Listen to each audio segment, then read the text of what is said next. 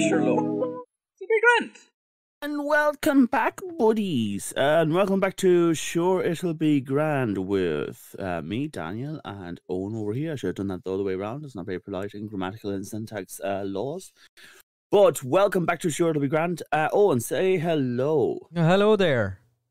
Hello there. Hello there. Ah, General Kenobi. Hello there. Um, yes, and welcome back to Sure It'll Be Grand. Like I said now for the third time, and it's um we're doing every two week episodes now, as some of you may be aware. For all one people listening to this, um, hello. oh, that person is very aware, though. Yes, they're very aware. Uh, fair play to them, and we love them dearly. Uh, Eoin, how has your two weeks been? Incredible, outrageous, astounding. I'm Yes. just having a great time. Well, you kind of are actually, aren't you? Because um, a certain TV show has hit the waves. Don't want to say the waves because it's not anymore like, you know, aerial. yes, but it released. Yeah.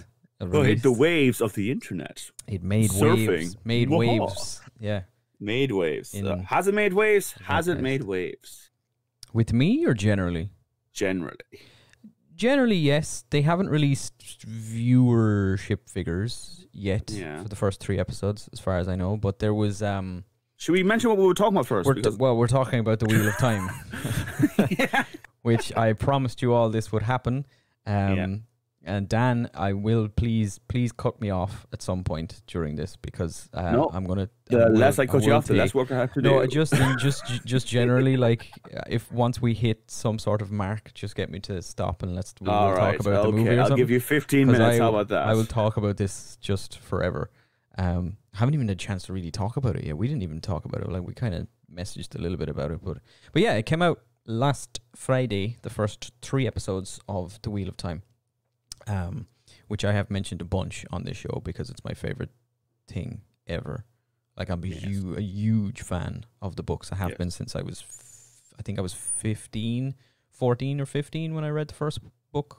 Um, and I've read them all a lot, yes. like you a, a lot. So and you've been badgering people a lot to read them. yeah, I, I just fucking read them. Hey, But hey, the- man, man. I read like five books, okay? Yeah, no, you you did. You're the only one that Yeah. ever listened to me and read some Yeah. of them. Um, but yeah, so the the first three episodes came out last Friday, and the rest, the the remaining episodes, will be releasing ev one every Friday until um, I think I actually think the series finale is coming out on like Christmas Eve or something. Um, oh. Okay. So they have between now and December twelfth to build them build the buzz because The Witcher season two comes out December twelfth, and it's awkward. Oh, it's is awkward timing for them. But yeah, it it released and people are furious, Yeah, they are. and aren't they? also some other people are not furious. I'm not furious. I think it's great.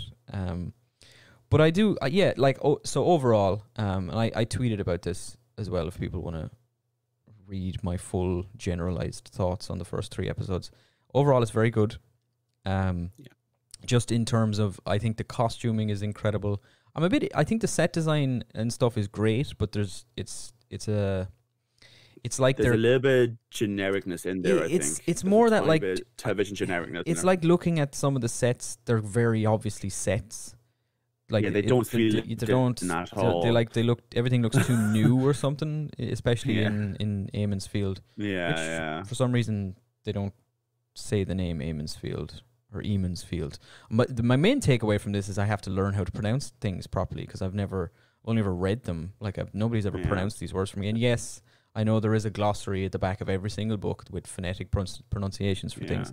But that. phonetic pronunciations confuse me Yeah. more than actual words. Yeah. Right? I don't know what they mean You know what half the time. got me like and the tiny little it's not really a spoiler but they say oh um i know they live past the mountains in the books but they don't live in the mountains in the book do they They live at the like the foot of the mountain, basically. yeah because but the tv show makes it feel like they're more like hidden up inside the mountains Yeah, they're like they're they're very close to the mountains that's of that's mist. the vibe i got Um, yeah, they're very close to the mountains Yeah. of mist, and the the road that travels from town to town in the two rivers is called the Quarry Road.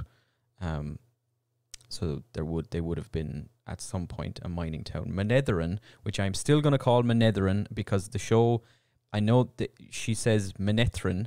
That sounds like an element of the periodic table or something to me. I'm just it's I don't know.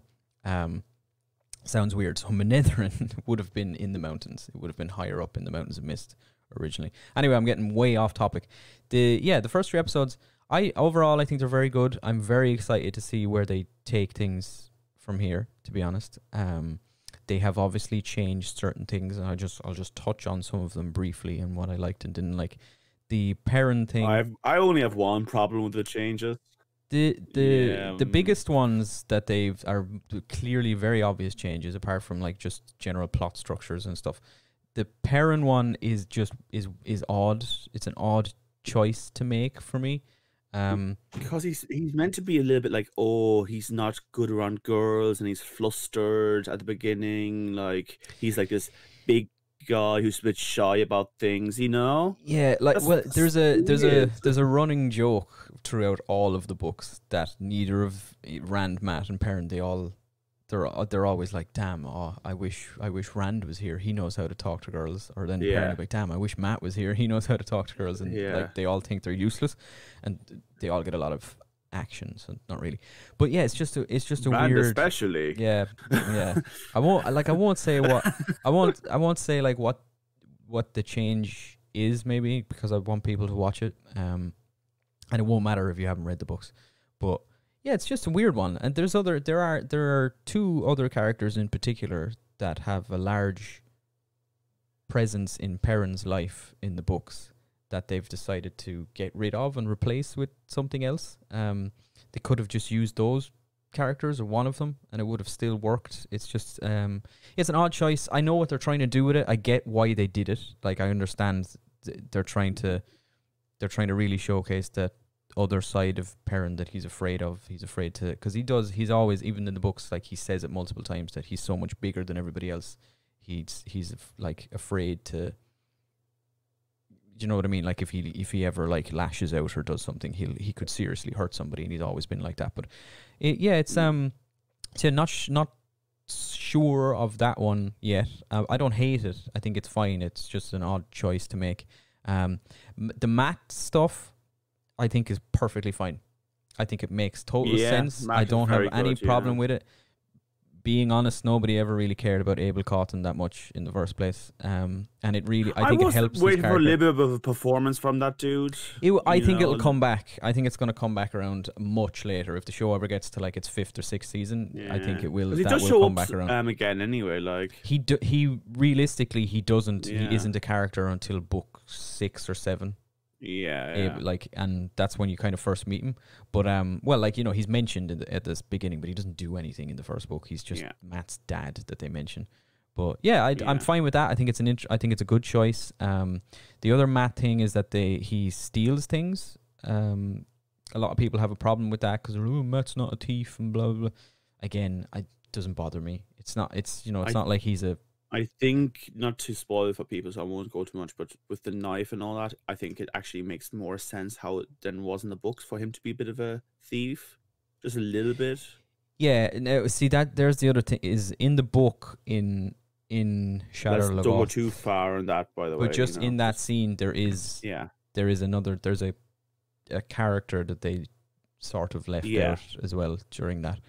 Cause they didn't really they hinted at at it being there, but the, um, yeah, I don't know. I think the structurally they made some changes that sort of make sense. I think the first episode is very clearly the first episode was originally about like two hours long, and it was cut Yeah. to shit.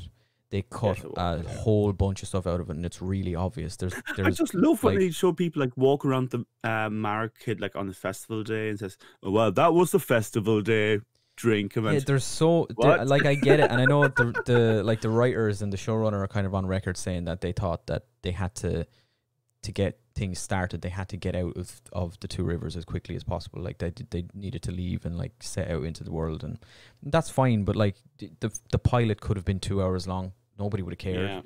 yeah, Um, I think that's studio interference. Uh, Rafe Judkins, the showrunner, has said in interviews that the first episode or whatever when he was making it, he got like this is him saying this. He got about eleven thousand notes from the studio. Um, so I definitely think the studio Yeah. were like, "Nah, this is too long. Nobody's gonna watch this for two hours. You're, you're like, this is just people sitting around talking for the first hour." And fans would have loved it, but I can see where they're coming from. This is other- like because otherwise, the- but this is the same plat. Like, but this is the same platform that's releasing the Lord of the Rings TV series, right? Which is, you know, I mean, not I don't think canonically connected to the movies, but like pe- they know that fantasy viewers will watch things. You know, yeah, well, they'll yeah. watch it for two hours, no bother. they will. They Two will. hours is nothing. No, and it's a pilot. P- show Yeah. plenty of shows have done like really long pilots, and then every other episode is is regular length. Um, so yeah, I think that I think the first episode suffers from that. I think there's a lot of stuff in it. Like first time, my first I've watched I watched three episodes a couple of times now. Um, like first because first time through I was just very emotional and and like every time they mentioned something Wheel of Timey. I was like, oh my god, I can't believe this is real. I can't believe they've actually thrown like a, a big budget at a Wheel of Time thing, and it's not just some like. Because in my head, it's still just this like I know it's massive. It's sold bajillions of copies worldwide since it's been released. Like, but in my head, it's still Mm. this like small thing that only I know about or something. It's like it's so Yeah. weird to see it on the screen. To be fair, whenever I do mention it to people, that they still go like, "What? Uh, what is it?" I've yeah, never it that. I've Like, I've it's never. still a, not a huge fancy thing. I've never met anybody that has read it. Yeah, Like in real life, I've never people are like, "Oh, what are you reading?" or "What's your favorite book?" or whatever. I'm like, "Oh, it's, it's the Wheel of Time," and they're like, "Oh yeah, I know about it." No, most people don't. But at the same time, it is the second highest selling fantasy novel series of all time, behind The Lord of the Rings. So Yeah. that could be also because it has a lot of. Books, yeah, it does have a lot of books. Yeah. Um. Yeah, Yeah, I don't know. Uh, anyway, yeah. So yeah, I don't know. I get. I like most of the changes are fine. I think. Uh, I think the cast are amazing. I think they're all really, Yeah. really well cast. Like uh, Rosamund Pike as Moiraine is perfect. Um, Daniel Henney as Lan. I wasn't sold on initially, but after seeing, He's him, I think he's great. I love what he's doing with Lan. I, th- um, I think a lot of what he's doing is that is like because he doesn't because Lan doesn't say much in general, but it's it's his Yeah. actions, it's the the staging of things with Lan is great. Um, never really thought I'd say this, but I quite like Egwene.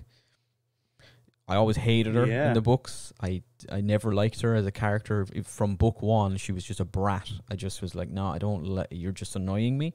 Um, and I just I think she gets. I think she does some really cool shit. Don't get me wrong. Like throughout the book, she does. She's important and she does some very. yeah. She has some awesome moments. But I just I really love the relationship between Lan and Moiraine. They really did well to show that there's like a symbiosis going on there as well. yeah, yeah, they did that. Even I know the bath scene was a l- maybe some people would say gratuitous. I actually thought it genuinely explained how they're almost one entity. Yeah. You know. Yeah, it was great. I loved their. I loved all of that. I think um, Marcus Rutherford as Perrin is perfect casting. It's Yeah, he's he's great. he's brilliant. Is it? I'm. I'm He's that nice big lump yeah. of a man. I'm who's kind of a really really Yeah. excited for his plot line that's coming up. Yeah, Um, yeah. it's gonna be yeah i'm really excited uh i think the um uh, yeah i think Nynaeve is i think Nynaeve is very good as well i'm not yeah. i'm not crazy about the added backstory thing that they gave her um i, I think it's part of it is fine but the the fact where you know i just it, i think it diminishes her somewhat um what they've said about her where she grew up or whatever um yeah. But she's Zoe Robins is, great. Here's the thing. It's been a while since I read um, at the very beginning the river scene. Did that happen in the books? No, Okay. no, the grand, women, the women circle, this initiation thing. No, they Yeah, they've aged all the characters up for the show slightly as well. did, in yeah. in which is all right. I don't. no, it's it's they're not like Literally, they're like a year no- or two older basically. Yeah. Um, but Egg Egwene in at, at the start of the first book ha- hasn't. It's a thing that where she has because they're like the women's coming of age thing is once they like come of age they're allowed to they have they start wearing their hair in a braid like Yeah. Nynaeve does, and Egwene at the start of the first book. Um, I believe she starts wearing her hair in, in a braid, and the lads comment on it like you're not old enough yet, kind of thing. Like you're not. Yeah. She's like just not quite that age yet. Um, So we don't know if they, maybe they do have some sort of ceremony. I'm assuming they do when a woman comes of age, but we don't see anything like that. Uh, we don't like Nynaeve doesn't throw her off a cliff into a raging river or anything like that. But it's great. It, it what that scene does is it's brilliant foreshadowing for things later. Yeah, yeah, that's in- on on how one might do do a certain thing. Yes. Um, yes. So yeah, they're all all the cast are great. Uh, Barney Harris as Mat is probably the one where I'm like, and this is it's not him. I think he's very good. I'm just kind of like I don't want to fall in love with him because he's not coming back for season two. Is he not? They recast Mat for season two. Um, It's a different guy. I actually Oh. think it's an Irish actor named uh, Donal. Hey, it's grand. Lovely. D- Don- Donal, and I can't think of his last name. Um, Donald Gleason. Do- Dominal Gleeson is bad, but yeah, it's he's good. He's very good, and I like what they're doing with Mat. Mm. It's just it's hard to. I don't want to like him too much because I know he's not come back. They have not said a single thing about why. There's Okay. we have no zero information. We don't know if he dis- if he left. We don't know if he was if he did something and he was fired. We don't know if they were just like this is not working out. We don't know if it was a contract thing. We don't know if something happened to him. Like I nothing. He- can't wait. he wasn't even at the for premiere. The first three episodes, going to just keep on calling Mat really loudly in the second season Yeah. just to reconnect people. yeah. he was he wasn't even in the he wasn't even at the the world premiere was in London and all the cast were there. Oh, and Barney. Harris wasn't at like- like he hasn't been in any of the the promo stuff. They're all doing all these all the cast are doing interviews and stuff now. He's not doing any of that stuff. So nobody knows what happens, but the people are leaning on the people seem to be in two camps. They either think people are either worried about him and they're like, God, I hope he's okay. That they think it was he left because he wasn't like like he was having problems or something.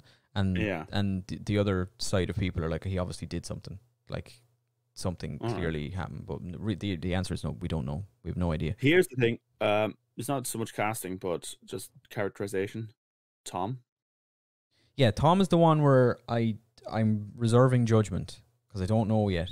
I don't hate what we saw of him in episode three, um, But it's not Thom. but I was just kind of like, this isn't. This is. I'm not. You know. Now look, I think I think uh, I I could I come to like him uh, for what it is. Um, Yeah. Just it's not. He's not. It's not Thom as I saw him. But Yeah, listen, he I like, didn't did make sure. cartwheels and jumped around and like had patterns on the outside of his coat, and it was very. He the, the coat is the thing that gets me because Thom was like he was super particular and protective of his Yeah. Gleeman's coat. Like it was a big deal that like this is Yeah. like no, if you don't have a coat, you're just a regular street performer. The the coat is what makes you a Gleeman. You get the coat, and everybody knows when you walk into town that's a Gleeman. That's not just some guy who can juggle. That's a Gleeman. Um, so like like they and he has the patches. I don't know. Part of me thinks we're gonna they're doing some weird thing where he he's hiding it. Like the jacket is a spe- They've made the jacket particular to Thom and not just all Gleeman. It's like a special thing, and he's wearing it inside out, so people don't realize he's Thom Merrilin, who, not to give anything away, but is more than just a simple Gleeman. Um, so yeah, I don't know. I'll see. I'll see where they go with it. Um, yeah. I'm not sure, but that episode overall was great. I liked how they combined all of Rand and Mat's wandering around the countryside for 17 chapters into just one condensed incident in a town. That was cool as well as well written. Um, yeah, there you go. It- I've it, I've gone over 15 minutes, but there's my general. There's my thoughts. Actually, you have two minutes left, buddy. Do I? oh shit. Okay, I got a minute left. What else? What else do I want to talk about? Uh, the effects are hit and miss. Uh, some of them are Yes. Oh, can I just talk? There's one effect. It's when the village is being attacked, and the Trolloc is above um, one of the characters, and is about to like attack, and just you know gets ripped apart. Mhm. I don't want to say what happens. Yeah, yeah, because- yeah. But it looks like PlayStation Two graphics. Like the, Yeah, some- the it- they're- they're- come- You know what? mm. You know what did it for me? what what made me go, ugh, was um actually the the bathtub scene. I thought the when Moiraine heats the water and the Yeah. steam starts coming off of it, it was really obviously like just fake steam that had been laid over the top of the image. It was just like, what is this? It doesn't Which look like really it's coming from the water. Definitely, like just like It's- there was a simple thing. Yeah, steam. And you know this? They had a. I read somewhere. I read somewhere at some point because they were kind of bragging a little bit about the budget that they had for each episode. Somebody Yeah. somewhere said Amazon gave them like 10 million an episode or something crazy. Doesn't make look this like thing. that. But the because they were bragging about how they all of the village of Emond's Field in in episode one, they built the whole village just so they could burn it down again. Like they built the entire thing and then they physically knocked everything down when during the final oh. battle and stuff. And that felt just like well, that seems like a waste. But but yeah, the effects are kind of they look. I think part of it look good. I like the the channeling in it, like the, Moiraine when she's weaving the one power looks good for the most Yeah. part. Though I think they, they have to Um, work on her choreography. I- I think they could have done. I think they could have been cleverer about it. Um, yeah. because there is a. I think depending on who who is lo- which character in world is watching Moiraine do what she's doing, you could you could either see or not see the weaves. Yeah. Yeah. That's true. But you know, it is a it's a visual cue for the audience, so it's fine if it's there the whole time. But they could have been they could have done something cool like that and then explained it afterwards. But um, yeah, overall, I I, I really liked it. Uh, yeah, I loved it. To be quite honest, I think it was I think it's good. I think it's off. I think it's a good start. Um, and I think I think by episode three, that it had kind of really found its rhythm, and episode three felt like a proper episode of TV. I guess because there was a lot kind of condensed into particularly episode one. Um, but yeah, it's cool. Tam is great. There's my final point. cool. I'm glad you liked it. Thank you. There you go. Good. Right. Uh, we're also doing a show today, and it's a Star Trek movie. Uh, one of the old-ish ones. I don't want to say older ones because um, I can already feel people getting um scared and annoyed. Um, yes, uh, we're doing Star Trek: First Contact. And with this, I got Eoin to do some homework um, by watching a few select TNG episodes, Yes. didn't I? I- You gave me a list of six. Well, five Yes, and one. s- You said s- there was a sixth one that you know you can watch this maybe if you want. I, d- I watched three of them. Yes, you did. Got But through three. I think them. you watched the three important ones, so it's okay. Yeah. Um, so yeah, you watched that, and I think yeah, we'll go through it. Um, so this was TNG's uh second movie, uh, the first one being Generations. Um, it it was directed by um Jonathan Frakes, our very own Mr. Riker, who. Oh, and you had some notes on Riker. Uh, can you read them there? Let me pull up my notes and find uh, what I wrote about Riker. Where is it? Yeah. Oh, I have it here. Um, Riker fucks. that guy knows how to fuck. Yes, he does. I mean, Yes, that does. man is a specimen, yes, and he is. looks at every single thing in the room. I'm not just people, of, No, no. of not just people, not just humans, not just uh, items. I think Yeah. every single thing that he looks at, he looks at like he's thinking about how he would fuck it. You know, there's a thing in it. Um, you might not have actually seen it in your um, uh, bit of viewing of Star Trek, but there's a thing called the Riker maneuver, right? Hmm. Uh, so yeah, you think it's that? It's not that. Uh, It is that. Um, yeah, maybe it is. Okay. Uh, but when he once you notice it, and if you ever watch Star Trek again, he swings his legs his leg over the back of a chair when sitting down. He doesn't stand in front of the chair and sit back. He swings it over every chair he sits because John Frakes has a back injury, and that was the easiest way for him to sit down. But no one notices this until they're told, and then they see it every single time. But yeah, um, I just loved it. But yes, he was uh, directing this movie. Um, we have uh, the TNG cast back um, with a few additions from other uh, Star Trek um, shows as well. Um, we have Patrick Stewart, obviously, uh, coming back as Picard. Uh, John Frakes comes back as Riker, though not much Riker. He's there, here, and there. But I, because uh, John Frakes is directing it, I think he decided to take a bit of a backseat on his character. Uh, give me your notes on data there. Data is goated. Yeah, Data is the Data. MVP of everything. yeah, yeah, I love that yeah. man. Android. Mandroid. Yes, Data. Uh, LeVar Burton returns as Geordi. Um, you had a reaction to Geordi in this movie, didn't you? Well, I had written down when I was watching the TV episodes. My one of my questions was, "What the fuck's up with the thing on his head?" Like, Oh, I, do you want- wh- why does he have a? He has a visor. I was like, does he have eyes? Is this a special device that like magnifies his vision, or is this his eyes? Yeah. Do you want to answer? Have it answered? Well, in the in the in the movie, he has eyes. So it's Yeah. I was kind of like, oh, okay, well, there you go. It's fine. No, okay, no, no. So he doesn't have those eyes in the TV show. So he has no he has no eyes. No, he has eyes, but he's just blind. They're just Right. milky white. We see him take it off once in a while. He, I, I, I think it was a. He hadn't since he was born. Like he was blind since he was born. Like, um, I was about to say it's because he got caught in a fire, but then I realized that was later on. Yeah, um, but yeah, um, yeah. So he can he, he can see using that device, and then uh, for the movies they gave him implants, those irises things he had. Um, then uh, Michael Dorn as Worf. Uh, me a new um, I because you you're a new viewer. I want to know your notes uh, about Worf. Worf is useless. Man. he doesn't. He doesn't do anything.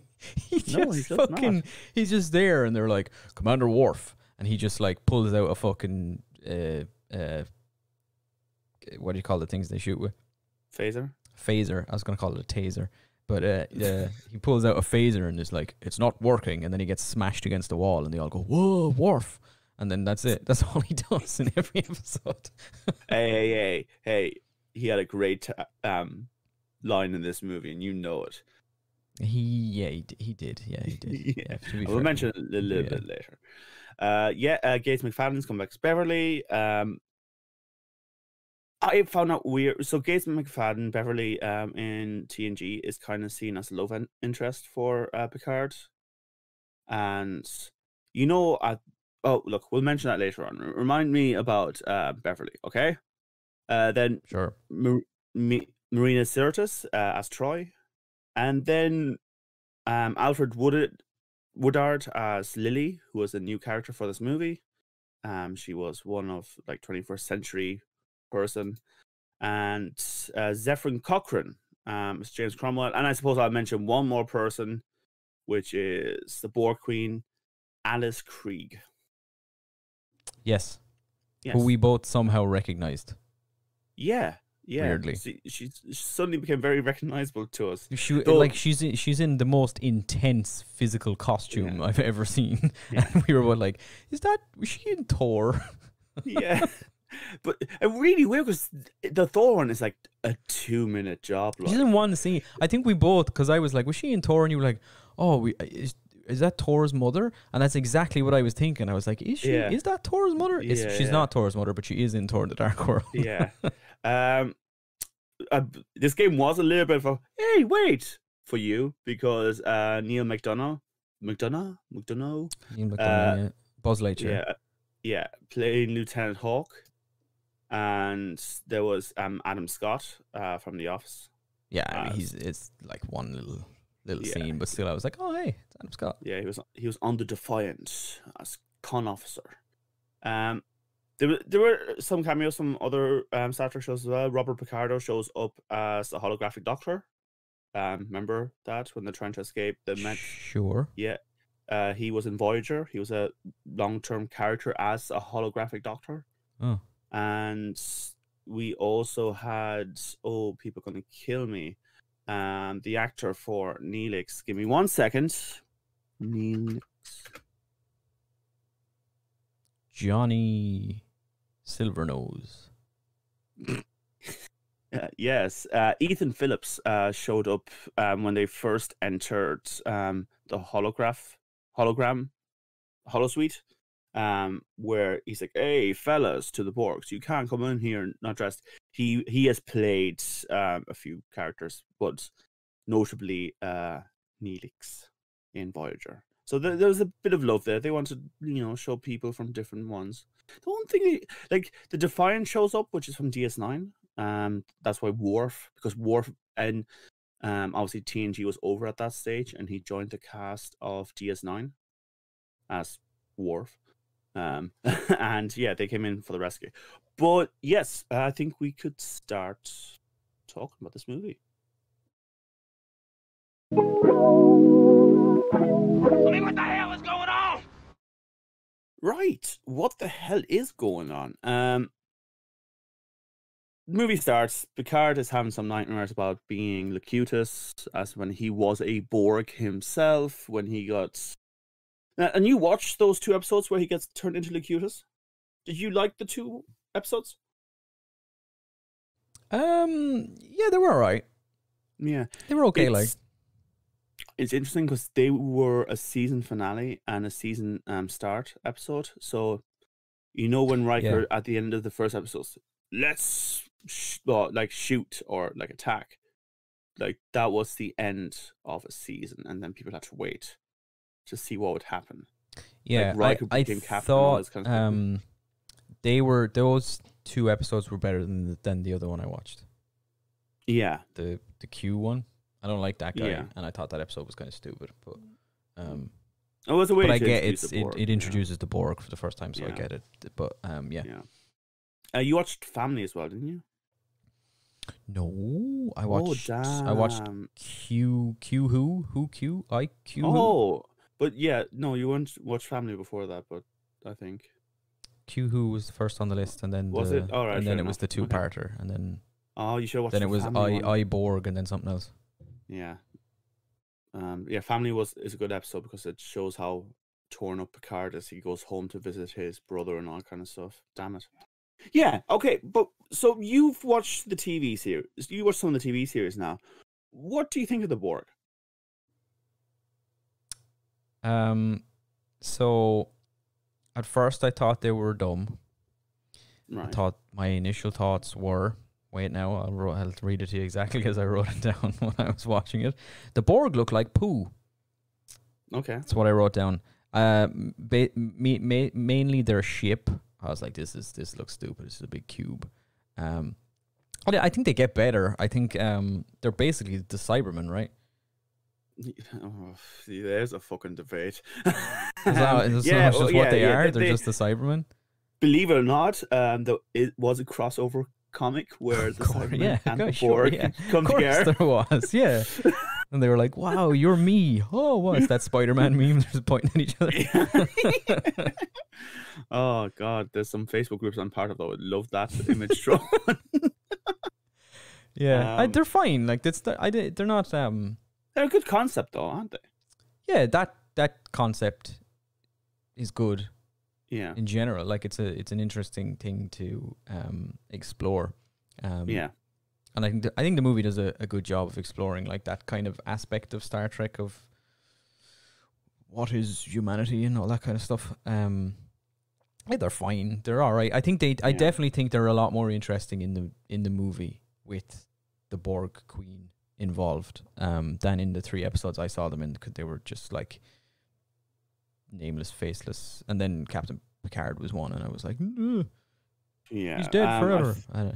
yeah, I think a lot of people had problems actually with the Borg face because they were meant to be less seen as individuals and as a character and more as this almost like force of nature, like a, a cloud front coming and ready to destroy things. But I understand why other people do actually like having the Queen there because it actually makes gives intent and feeling to them.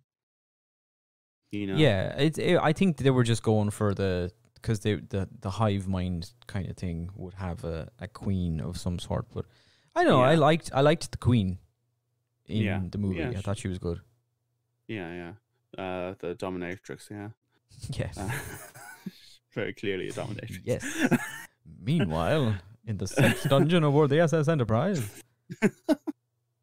um, but yeah. Uh, so anyway, yeah. Uh, the uh, Picard is having dreams about the Borg and that kind of stuff, and he gets a call from an admiral, and the admiral saying, "Hey, sorry to wake you up or whatever, Picard. Uh, there's a whole bunch of Borg coming. Uh, we don't want you anywhere there. We want you to go to the Romulan neutral zone." And make sure the Romulans don't fuck about while we're like having to fight the Borg. And he tells his team, and they're like, "What the fuck? Like you're literally the expert on the Borg. This is so dumb." Says, yeah, well, I mean, maybe they think I'm a liability and blah blah blah blah blah, and ends up, you know, uh, Starfleet can't handle the Borg because they didn't send their expert. And Picard said, "Oh, I'm gonna go and fight the Borg cube. Fuck Starfleet's rule." And Data goes, "Hell yeah, man!" And they fly off to Earth. That's how he, and ta- that's how he talks. yeah, hell yeah, man! Hell Woo! yeah, dude. Let's go kill some shit. Woo! That's why I like Data. That's how he, he's that character. Um, but yeah, so uh, you know, Picard breaks the rules, flies back to Earth, and makes a last stand with some of the remaining ships to defend Earth. And Worf comes in on the Defiant, uh, shooting down, and he's like, "Oh, maybe today is a good time to die and not do anything really." And the Enterprise comes to shield him, and Worf joins back on um, the ship. And yeah, they, ha- they have a battle, and um, Picard suddenly realizes there's a way to destroy the ship. Tells them like, "Oh, yeah, just shoot at these things." And they're like, uh, "Homie, uh, this is not going to destroy. They're like not important systems on the Borg cube."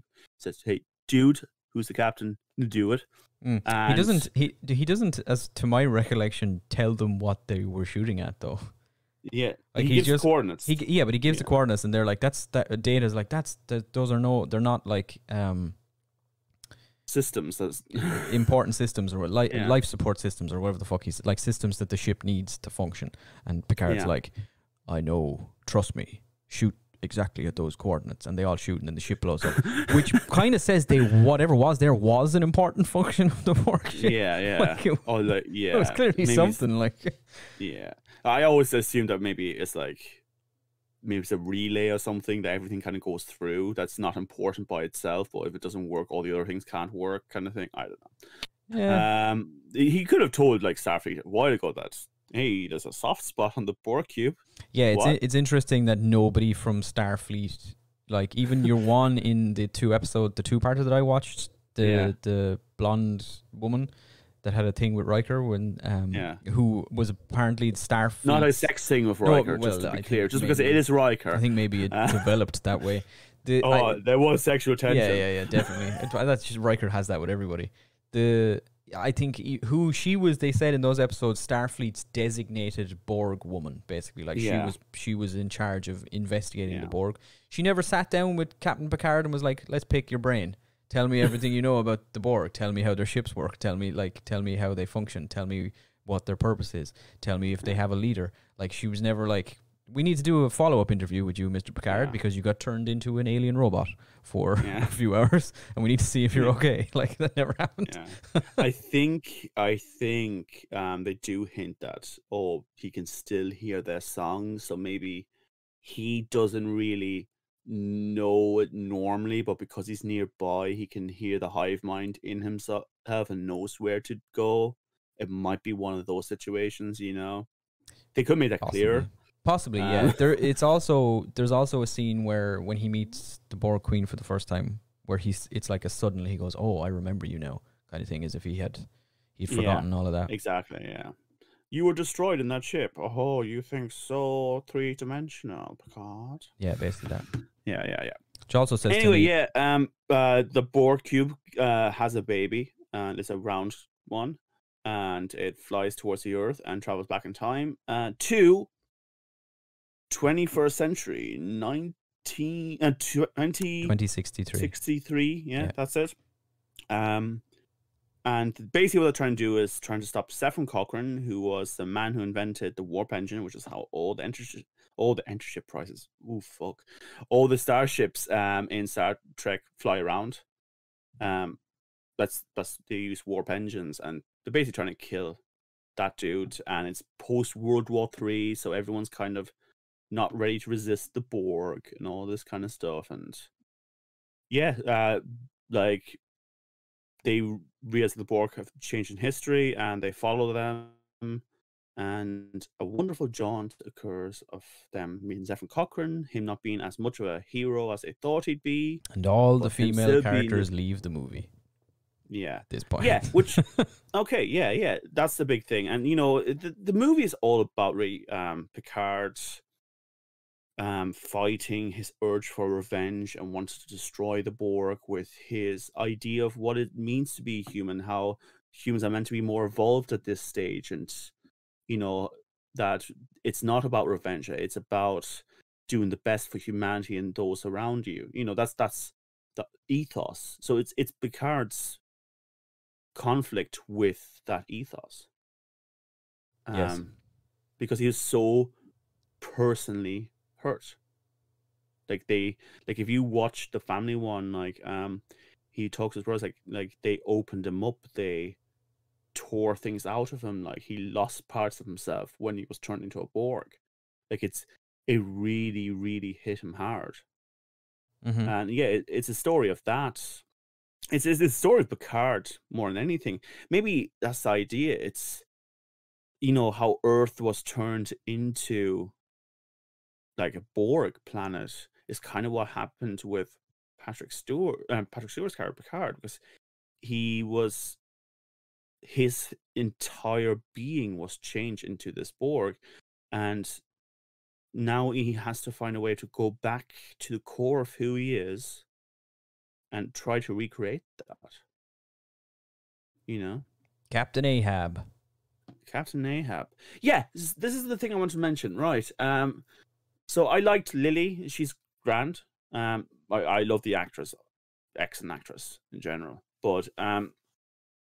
Yeah, Lily. Um, Lily is from Earth, uh, 21st century. Um, she worked along with Zefram Cochrane on the warp engine, and she um gets some radiation poisoning from um the Phoenix, which is the ship they're using um for the warp, which used to be a, a like a nuclear silo, and like after a confrontation of Data jumping down three fucking stories Oh yeah. in the missile Yeah, silo, great- great scene.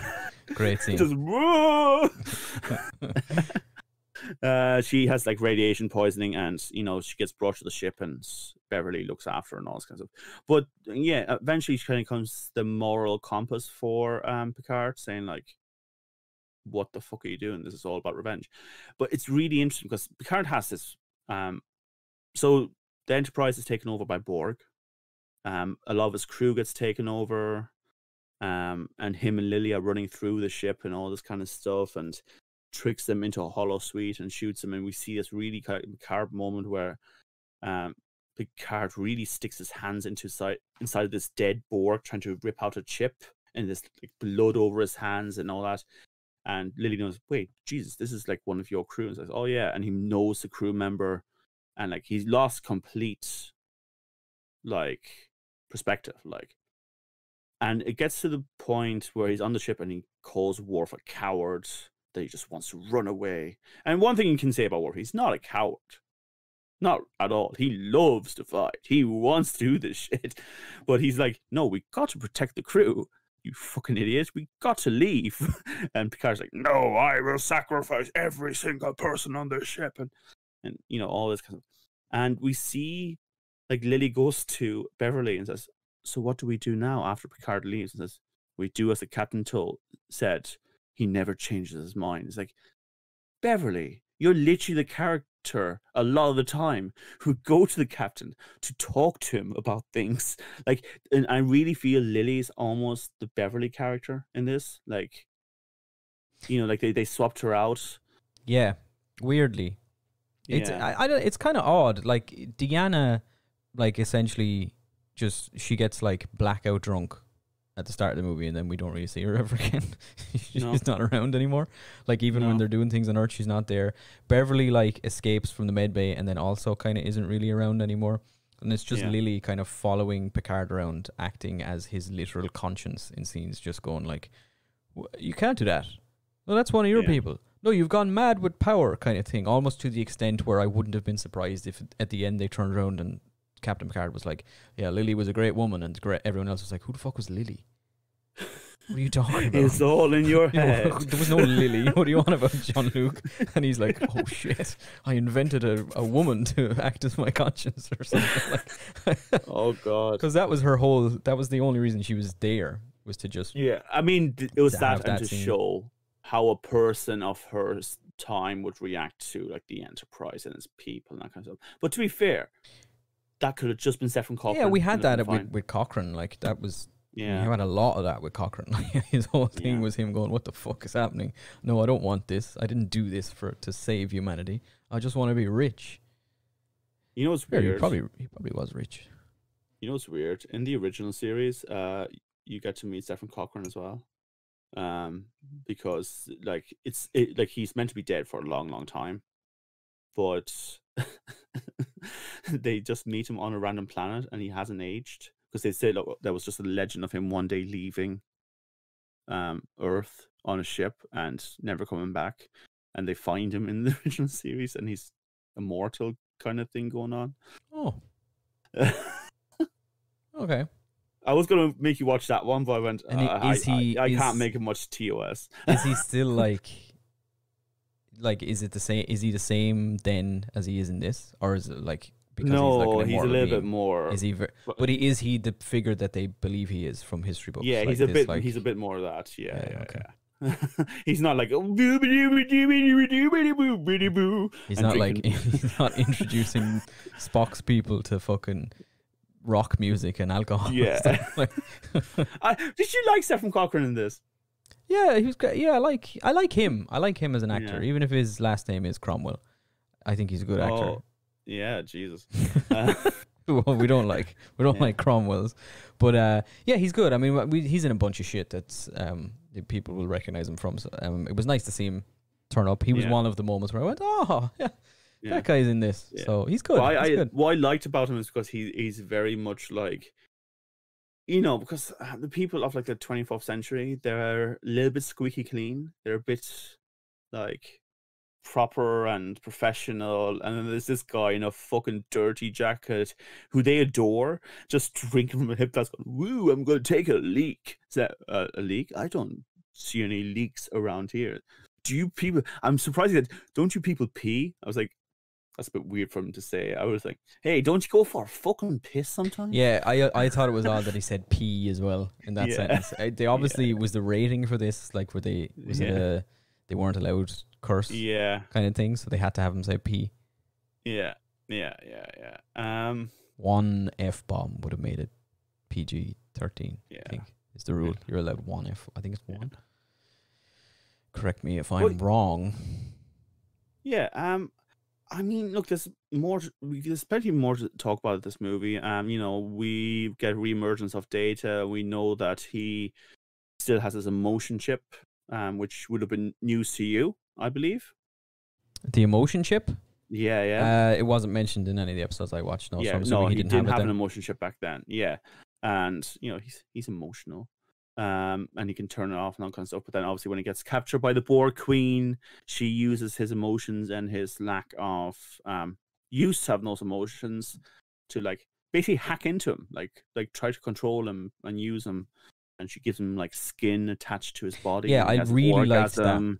I really liked that whole the Yeah. whole back and forth between Data and the Borg Queen. I thought was great. I loved the idea that Data, like twisting Data into the the Borg collective, functionally was the opposite of making a human into a Borg. They Yeah, added yeah. human pieces to him to make him more malleable to to the Borg. So I thought that was cool. That was Yeah. really great. Um, I still love that line moment. though. Like even though he said I was tempted for a while, and Picard's like, "What? oh, that's great. Yeah, Yeah, point zero two seconds. That yeah. that's an eternity for It's an, an android, eternity sir. for an android. Yeah, that's great. Yeah, yeah. Data is just great. I like Data. Yeah, yeah. No, I, I love data. And I definitely like if you ever, I can give you more episodes that are more data centered, like if you want to. Data is definitely the the ship Won't of talk about data centers. Um, Ruining the. We'll have no electricity for Christmas then if we have any more data the- centers. the show is very much like the the meme of um like data is very much the team at 100% and team at 99% where they cut out everyone else and it's just Oh, definitely. He does. He does everything every other crew member does, but better. yeah oh like he's a, like that re- he's stronger than Worf, right? yeah He's a better engineer than and then Geordi. Geordi, who I, w- I Yeah. want to call LaForge because I think it's a really cool last name. yeah. Like where's Geordi, not so no, a like, good he, name. he, I, I, there's, I haven't seen explicit evidence of it, but I'm fairly certain he would, he knows more about human anatomy and medicine than Beverly. No. I think he could do it. I think he He probably, probably has. could, he could just be like- like, yeah, I'll, or you know, whatever. I'll just learn. I suppose right the, the thing Like- is, like he he doesn't have the imagination as well as humans. No, he doesn't. that- but like, yeah, you yeah. know, he's a better navigator than. Who's the navigator in this? Lieutenant Hawk. yeah, it's Hawk. is yeah, Hawk has Hawk replaced Wes. Wesley Crusher? Yeah, I think. no, No, no. it was no, the little kid, Lieutenant the Hawk. navigator. Lieutenant Hawk is another character. You said just Lieu- Lieutenant- Lieutenant Hawk, the character, played Wesley No, Crusher. just, has he replaced Wesley Crusher? Oh right, In- in- okay. in, like, in- like, no, man, are you okay? yeah, are Neal McDonough and Wil Wheaton the same person? Did Wil Wheaton no, grow no, a up? to fictional be- character is acting as a fictional Yeah, character. Wesley Crusher grew up to be Lieutenant Hawk. That's how I saw it. Uh, yeah, days he to go. hated his, his mother. He hated them saying "shut up, Wesley" so much that he had to change his name. I took a um, bunch of like little notes. Do you want me to? Uh, could there were, like, Yes, questions and please stuff tell me in it. the Do you want notes. I'd tell love you to hear where? your Now I wrote these down just at, as I was watching the episodes and stuff. Um, first question. I started taking these after the first Yeah. episode, right? So there's a woman in the in the first episode that I watched, Q Who, this like um attractive Deanna sort of looking figure who's following Geordi around the ship. No, right? Who is she and where did she go? Uh, she probably just. Oh, is that the one who spilled hot chocolate onto Picard? I don't. I, she was just. She was like. I don't know who she was. She was just in that episode. Did she spill hot chocolate on Picard? In that episode, yeah, I don't. No, I don't think so. I think She might was just be like following because- Geordi around. Like he was like teaching her things and stuff. Like she Yeah, was, yeah, that's that might be her. Um, she's the one. Remember we watched. Um, oh, what's that movie of Arnie? Arnold Schwarzenegger on Mars. Again, Total Recall. oh, oh Rico. Remember Three Boob Lady? She plays three boob lady. Three boob lady. Oh, Three boob lady. okay, so okay, she's Yeah. three boob lady. Um, this is just a general comment. Uh, in one of those episodes, there's a scene where they all play poker, and Data has a little hat on, and I thought it was Yeah. nice. He wears a little it po- a little it? poker visor, and it was cute. I go. just like the data. Who's a high function um computer plays a card game with people. yeah. Like he, he must hold he back. was the dealer. Yeah, though Riker wins every game apparently. Data was the dealer. yeah, yeah. I'm pretty sure. Yeah, That's why he has the hat on. yeah, yeah. But doesn't the Um, dealer play as well? no. Well, it depends on what you're playing. If you're playing blackjack, you play against the dealer. Yeah. But they were playing Um, some sort of Texas it- Hold'em style thing. I don't know what it was. Is but- it a surprise to you that Riker wins every game? No. Not at all, is it? It's No. because he'll just do that smile and goes, hmm. He has he has no tells. You have no Yeah. idea at any moment has- what There's no life behind those every, ears. everything in Ears, his yeah, eyes. everything in his face when you look at him and try to read what he's thinking is just this man wants to have Sex. sex with me. what is happening right now? yeah. Um, I like the way uh, Jean Luc Picard says uh, tissues because he says tissues. he said it in one of the episodes, and I thought, oh, that's nice. Did Patrick you come Stewart. across a French thing for Picard? Yeah. Hmm? So Picard is French, Yeah, like, like fully French. He was born in France, grew up in France. yeah. Okay, so you know. Okay, just I'm aware of that, but I, d- I Yeah, don't know if it yeah. came up in any of these episodes, but I know yeah, that's a, no, a just, just thing. because yeah. I find it interesting that the Yorkshire man. A Frenchman, yeah. Yeah, but he Yeah. said tis- tissues. That was fun. Yeah. um, I wrote down a question. Now it was answered afterwards because this was in one of the episodes, and it, it, she hadn't appeared yet. I forgot Beverly existed, and I was wondering why there was no medic. I wrote down, "Does this team do they not have a bones? What's happening Yeah. here?" But then Beverly yeah. turned up, so that was answered. I like Uh, Beverly. oh, here- do you love what? do- actually, I, am going to ask you through the the cast of characters if you like which ones you like and which you don't. But go on. Uh, okay, so this is an actual question, genuinely, right? Right. so okay. the term red shirts. yes. right ha- is that's like a term now that people use for like characters that die right Yes. Yeah. Di- so did did star trek did the star did starfleet change their uniform color coordination did. in, in was it in response to red people red shirts dying a lot I and then don't know if it's response to red shirts. they couldn't get people lot. to sign Um, up because they were like well no if I put the red shirt on as a as a novice I will die so they made So- all the the leaders wear them so people would be like see Yeah. not, red shirts don't die Yeah. Yeah, so command used to wear um yellow, which now is engineering. Um, blue is for science and medics. So for, na in TNG, blue is for science and medics. Uh, red is for command and tactical, and yeah, but though mind you, a blue and a yellow can still be in command. There's nothing stopping it, but usually the tactical ones are in charge for you know yeah yeah yeah, yeah. reasons. Um, but yeah, in the original series, um, yellow or technically it was actually green, believe it or not, but the lighting in the studio made it look like yellow. Yellow was uh, command, uh, red was engineering, because if you remember Scotty, and blue was still medicine, and and Spock was still blue as well. So, Yeah, they yeah, changed- okay. I'm not So, sure. If they, I'm, I'm not sure if they did for that reason.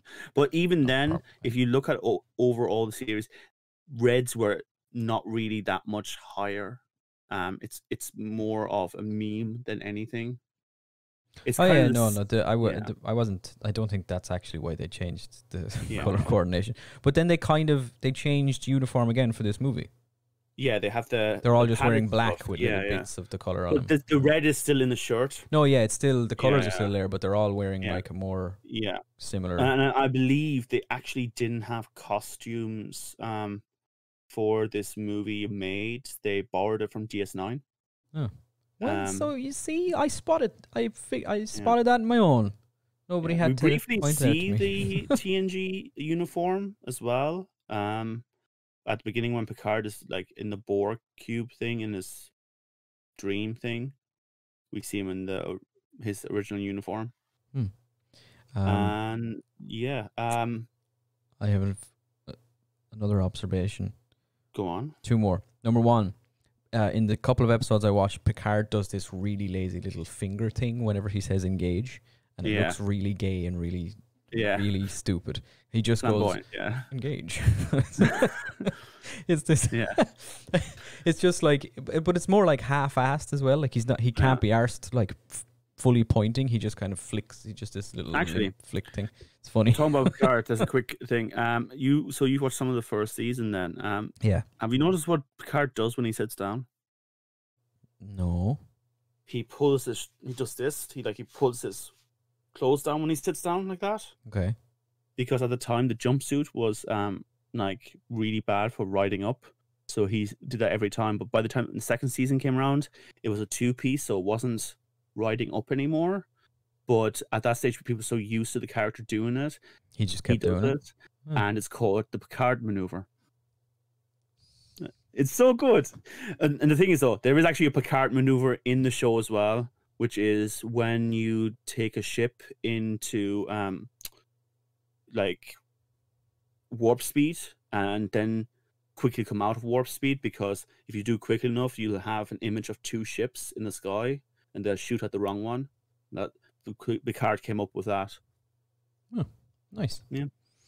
Observation number 75 from me watching Star Trek.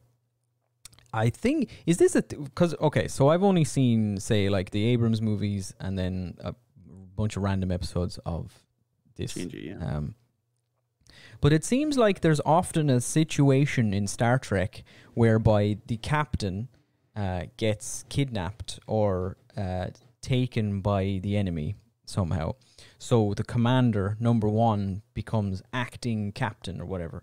And then that person, Riker or Spock or whoever, is like, "Oh, let's put. I'm putting a team together. I'm leading the away team. We're going to get the captain back." And then somebody, usually a woman on the ship, has to go. You can't go anywhere. You're the you're the captain now. You're you Yeah. have to stay on the ship. Somebody else is going to have to. Le- I'll lead the away team or something. And you're Yeah. like, all right, damn it, fine. But then they proceed to send every single other head of every other department on the ship on Yeah, this super yeah. dangerous away mission. They send the Yeah. head the head of engineering, the head of medicine, the head of fucking nav or whatever. They send like all the other important characters, and it's like surely they should stay on the ship as well. And it's not like the other people on the ship aren't capable. They're No, all, like the entire ship is full of like very well trained, capable scientists. You know, Yeah. experts in the I field. just like, I just noticed it because it happened when Picard became a Borg in the episode. It happened with Riker. Yeah. Riker was like, "I'm going in. I've got to do this," and then I think uh, Deanna was like, "You can't leave. You're the captain now. You have to stay on the ship." So he sends Geordi and Data and Worf and like every, all the other heads of all the other departments. But the same thing happens in one of Abrams' Star Trek movies with Spock. yeah, Or maybe it's the no, it is yeah. The I'm pretty sure Spock becomes acting captain or whatever while um you Chris Pine, what's his character's name? Captain Kirk. Kirk gets uh is like captured or whatever, and the exact same thing happens when you're one that Spock is in a relationship with has to stop and be like, no, you can't go. You're Spock now, or you're captain now. You're sorry, you it's you a title. you're- no, you're- Kirk, you can't. You're Spock now. You're acting. You're acting Spock, so you can't go anywhere. I just say, is that like it? Does that happen a lot in Star Trek? Is that a, Um, just a thing? I mean, look, the whole idea of like sending off like the heads off to do stuff happens a lot. Like the captain very often goes out. Now, I will say TNG was a little bit better. They often sent down like Riker instead with some other people. But yeah, Picard certainly takes a few away missions as well. Um, I mean, look, the reality is that they want you know that cast to be on screen. You know, no, no, no. I, I understand that. It's Yeah. just like that particular instance of like Oh, whether captain, it's someone takes over. captain it gets happens, kidnapped. And it then, happens once in a while, but it's it's really only during big moments in the show. Like, Yeah, but then is that Yeah. uh, could they not just argue that with the captain? Like, sorry, you're the captain. You can't go on this dangerous mission. You have to stay here on the ship. Like, yeah. and but then And the actually, captain be you- like, "Shut up, I'm the the captain." You've watched the first episode of um. to be fair, the episodes I have, first episode TNG, didn't you? the episodes I So- yeah yeah I watched the first six or seven. Yeah, The- and like he makes a point of saying like, you know, um, Picard said, you know, number one, you know, I like to do what I want on my ship. I don't like being told what to do. And Riker's like, well, look, I'm your number two, and I am in charge of uh, telling you when you shouldn't be doing something stupid. in fairness, the um what I have seen of the next generation, Picard seems to quite often stay on the ship. Yeah, He does uh, quite often. He just he does sit there and kind of like coordinate things while Riker is running around having sex with aliens or whatever it is he he does all the time. Yeah, people always Shooting talk bullets. about like Kirk being the big Wink, wink, player of wink. aliens, and he does like have like sex a, a decent amount in the original show. Not as big as people like to make out. I think people just kind of overinflate it because oh, sex in the sixties, woohoo! But um, but I think Riker definitely um is definitely more the horn dog of the Yeah, start. yeah, I think so. Yeah. yeah. Okay. I have a couple more little questions just to Star Trek in general. Number one, where is where on the Enterprise is the command deck that they're always at in? the very top. But but it's, It's it's a little bulb thing at the top. at the top of the saucer. Yeah. But they separate the saucer section in the movie, and they're not in it. They're in a they're in the command deck, and they're looking at the saucer It's- oh, that's yeah, that's just at the base of the under So underneath. there's two. it- so it's not at the top of the. It's Yeah. at the- there's two bridges. oh, they have like a, a backup Yeah, yeah, yeah. Okay, right. That makes more sense now because I, w- I Yeah. always just assumed it was like just at the front of the ship. It's also the captain's yacht, which is a thing that's just underneath the saucer that can be popped out as well. Okay, okay, okay, okay. We're nearly there. We're nearly there. Uh, I had one more thing. Um, why why did they drop the C in Star Trek? Sorry, what? Why did they spell Trek without a C What? in the in Star Trek? Yeah. But Isn't, there, isn't a- there a C in Trek? no There's no C in the word Trek. like trekking? Is that spelled with a C? No. No, it's not. All right, never mind. I answered my own question. I didn't know how to spell Trek. Okay. All right. So why Okay. did they? Why is there no C in the word Trek? Dan? It does sound like it needs a C. Um, anyway, we'll go on to the next section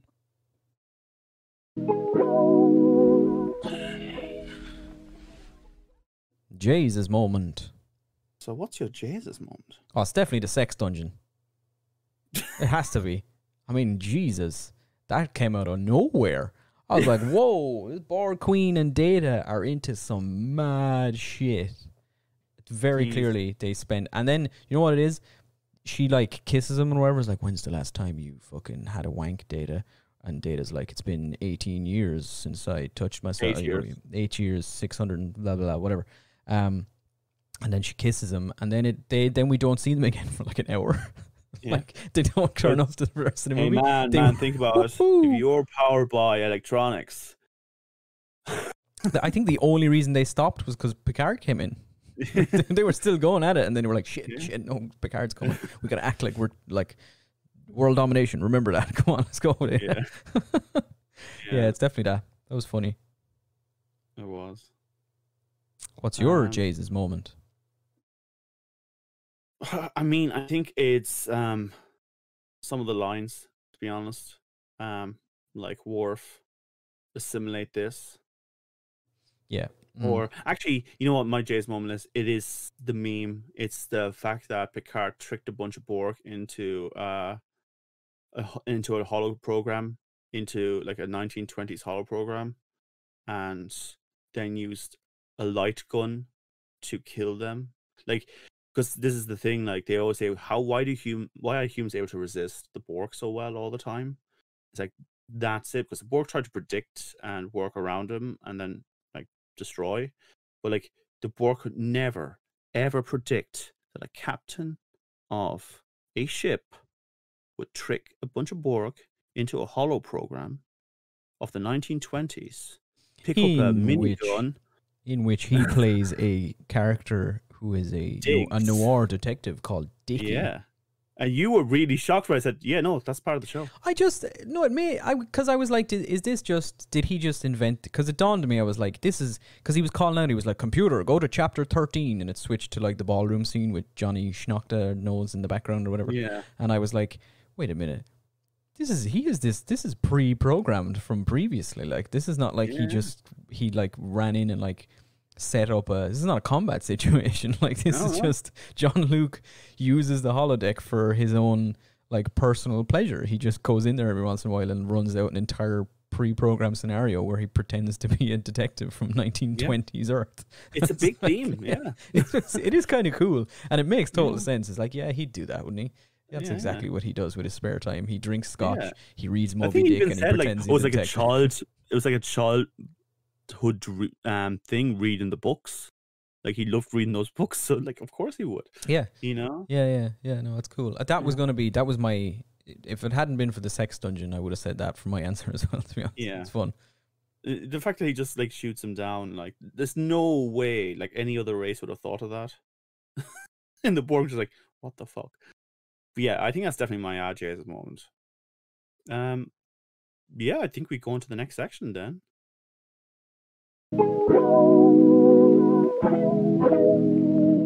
Yes, Mr. Frodo. It's over now. Right, on you've watched the um, you know, the Kelvin universe, but now you've watched a bit more of the original timeline. In general, um, episodes and movie wise, what do you think? Um, I I don't. It's grand. I, d- I don't think I I'm not really in a rush to go back or to like start watching all of Star Trek now. Yeah, Um, I think the movie, this one, was a lot easier for me to watch because it, I think, in terms of the way it's structured and the way it's filmed in particular, is a lot more like modern sensibilities in terms of film filmmaking and stuff. Yeah. Um, I think the show, at least what I've seen, is still kind of shot the way OG Star Trek was in terms of like the, the you know the, the layout of, The of scenes and the, yeah. the, the where the cameras are in fixed places and stuff like that. Um which is grand. I don't i don't hate it like but it's um Yeah, it's it's I, I look. I mean, honestly, I think at this point, like any network TV series that has twenty seven hundred episodes a season, there's going to be some really bad ones, and there's going to be some very good ones. It's you know what I mean. It's rare that anything is like impeccably well made for all twenty two episodes of a season like that. There's going to be some episodes that are just throwaway. Like we need to fill some fucking. We need to fill out an episode here and just throw in some shit. Um.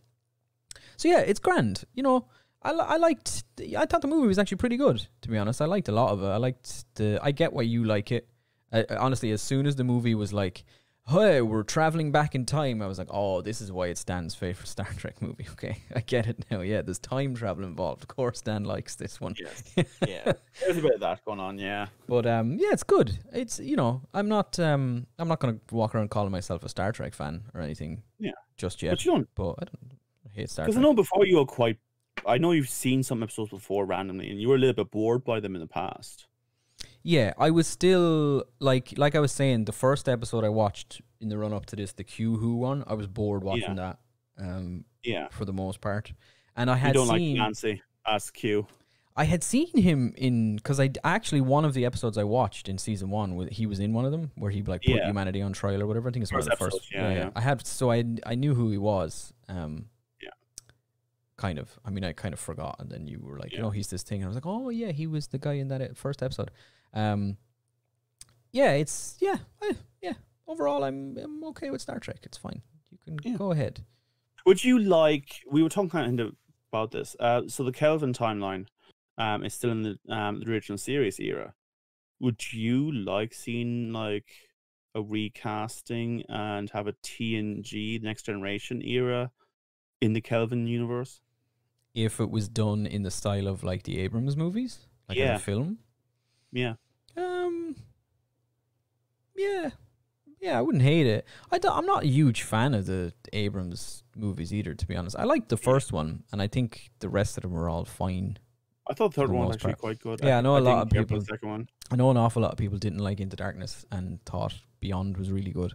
Um, yeah, I I don't know. I see the thing like Into Darkness. I think is one of those things where like because they because it was Wrath of Khan essentially, and they like reversed things and changed stuff around. A lot of people were like, "This is fucking." They just remade. It was the it's the Force Awakens thing again, where people are just like, "They just remade A New Hope and changed some shit. It's the same fucking movie." Um, whereas I had never seen Wrath of Khan. I didn't know what was it meant nothing to me, so I was like, "This is interesting." Um, yeah, I don't know. I'd I'd be yeah. I'm not. I'm not. I won't. I won't like recoil in horror if somebody ever suggests watching Star Trek again. I'll put it to you Yeah, that yeah. way. fair enough. Well, good stuff. Um, yeah, I enjoyed First Contact. I think First Contact is one of my favorite Star Trek movies. Um, and TNG being my f- second favorite um Star Trek show. Um, it's always kind of good to slip back into them. Um, DS9 for life, bitches. Um, but yeah, uh, it's a good movie. Um, I think it holds. I definitely recommend people watching TNG and giving First Contact a go. Um, after the first movie, Generations, which I thought was a bit pants to be honest, um, this was pretty good. So yeah, definitely recommend it. Um, if you're into Star Trek or if you want to get into Star Trek, do. Uh, there's loads of new Star Trek. It's, it's like a new golden age of Star Trek. There's a whole bunch of shows out now. Um, yeah, that's that's kind of my word on it, really. Um, Eoin, what are you watching next week? On next two weeks, Splitting hairs is back. Splitting hairs is We're doing back, another baby. splitting hairs, and this time, this time, people, may take our lives, they may take our podcast, but they'll never take Braveheart. We're doing Braveheart versus Rob Roy, um, which I don't think either of us have ever seen Rob Roy. I think I've seen bits Maybe. and pieces. I yeah, I'm pretty sure I haven't ever seen Rob Roy, um, but I've seen Braveheart a bajillion times, easily a bajillion times, and I'm excited to watch it again because I love Braveheart. In fact, your cousin has like a helmet from the movie. Mm, yes, I have Yeah. family. I have personal family history with the movie Braveheart, which we will discuss in Splitting Hairs when we return in. Uh, Where I weeks. will defend Braveheart. Yeah, because I hate my family. anyway, folks, um, give us a like, share, subscribe, all of that. Suggest us to your friends. You know, you know the deal. Um, we'll, I think we'll love you and leave you.